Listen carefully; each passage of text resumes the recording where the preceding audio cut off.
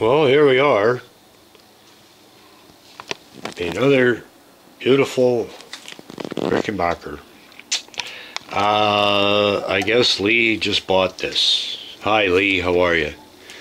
It's pretty gooey. And there's something weird going on here with the neck. I'll just demonstrate here once I put the camera down. Hey, so when I look at the neck, there's relief here, but on the bass side there's a hump. And when you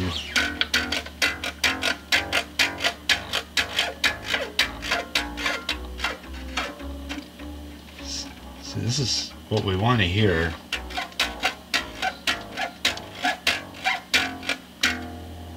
There's the sad. There's the sad arpeggio.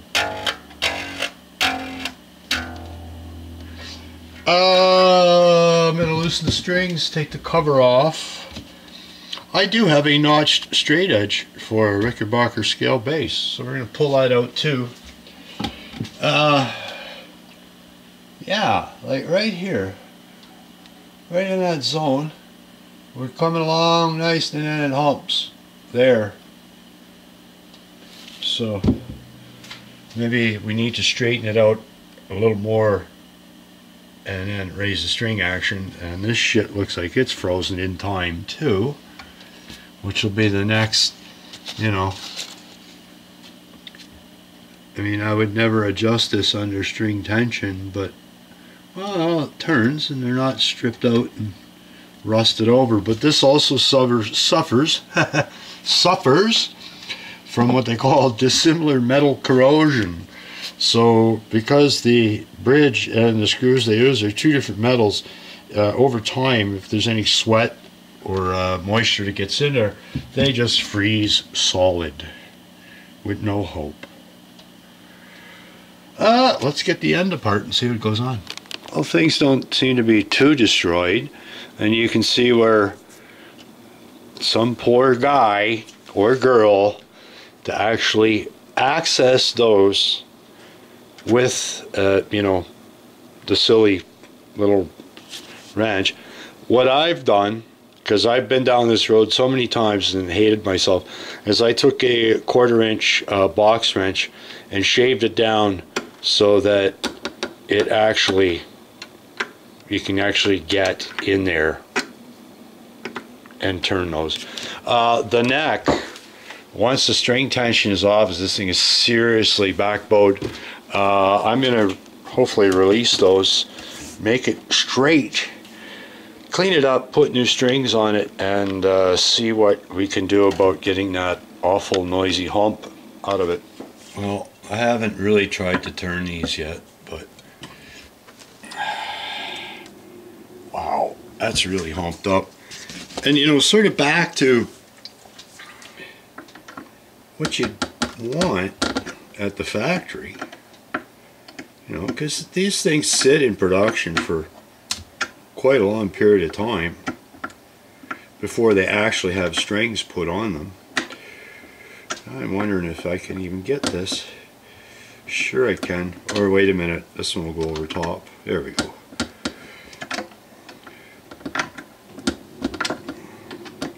But this has got a lot of tension on it, folks. And as I can see, I'm not the first human in there. I have not made the neck straight. And the truss rod adjustments are virtually loose or not really engaged.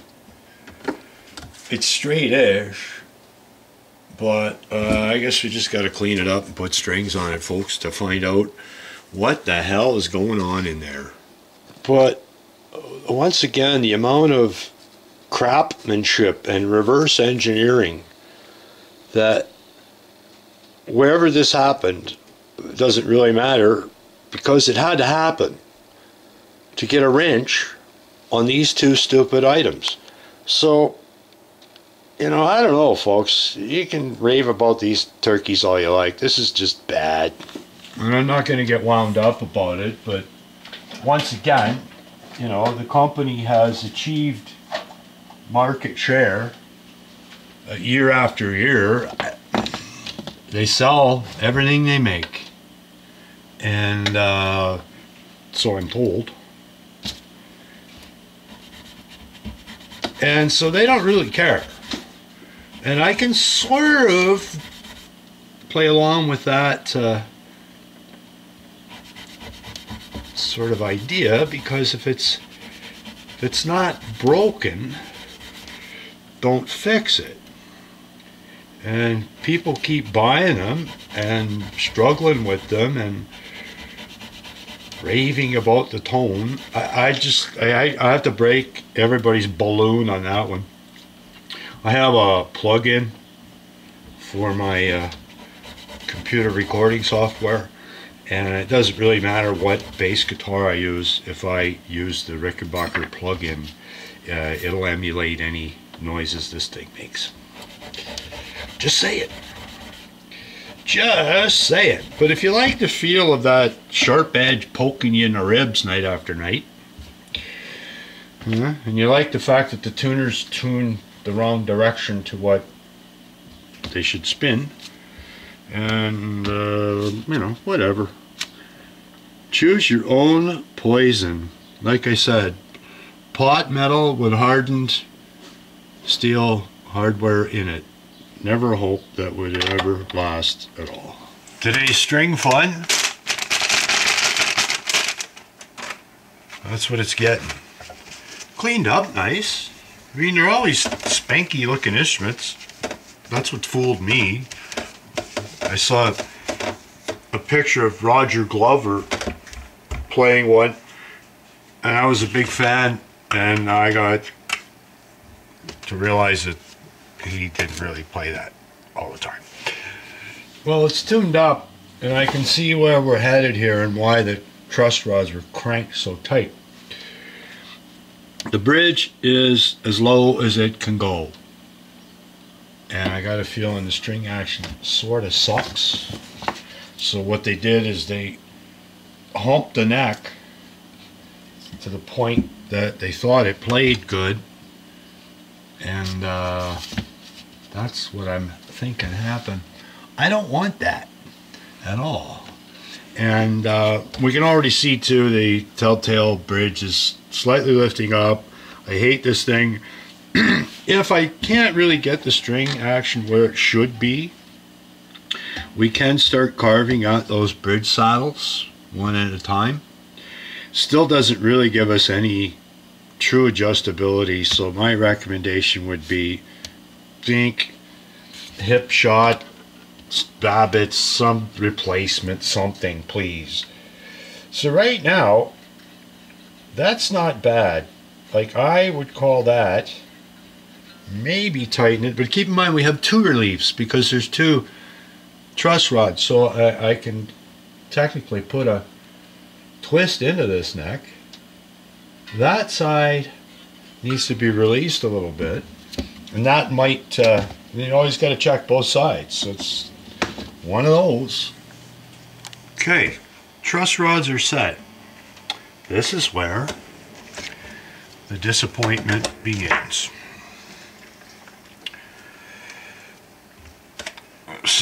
To measure the string height. We'll just take the 17th fret for, for the hell of it, right?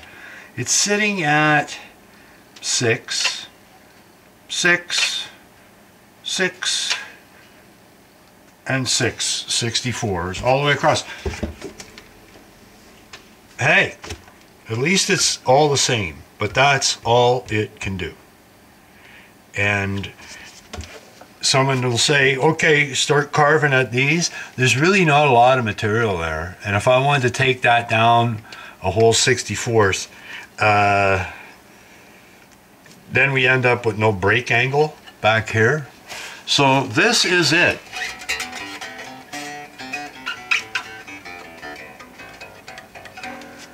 We can look, examine the pickup height, which is always set too high because the pickups have no output. Right? Always set too close to the strings because the pickups have no output. I don't know. To each his own. So, I quit this client. And I will just offer the recommendation, uh, get a different bridge if you want this to be more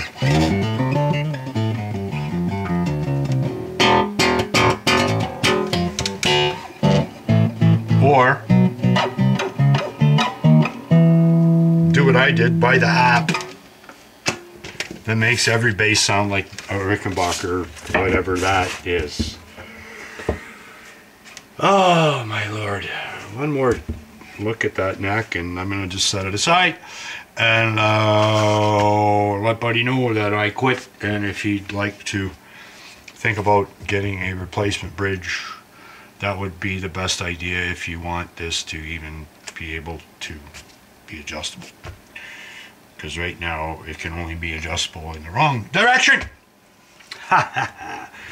Okay well let's put the little cover back on. That's always challenging getting that back in its proper hole when the strings are on it. There's a trick to it. I know there is. I've seen it. I've seen it on TV there's a trick to this. There is a trick to it. I'm going to figure that trick out in a minute. Anyway, all the links to uh, wonderful things are below in the description. Uh, special shout out to all my patrons, Facebook group people, Twitter people. You can subscribe. You can get a Dave's World of Fun Stuff sticker. Those are coming to... I'm running out. I don't know